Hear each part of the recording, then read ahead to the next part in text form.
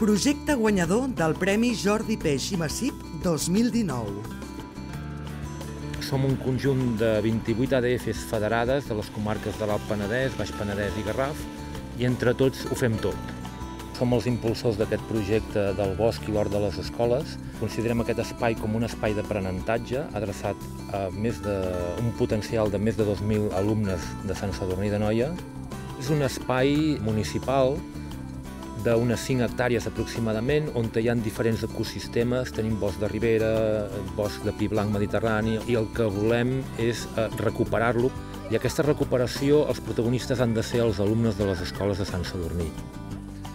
A mi m'agradaria que vagin prenent consciència de la formació d'un fruit, de la formació de les plantes, quin és el seu cicle de vida i el per què.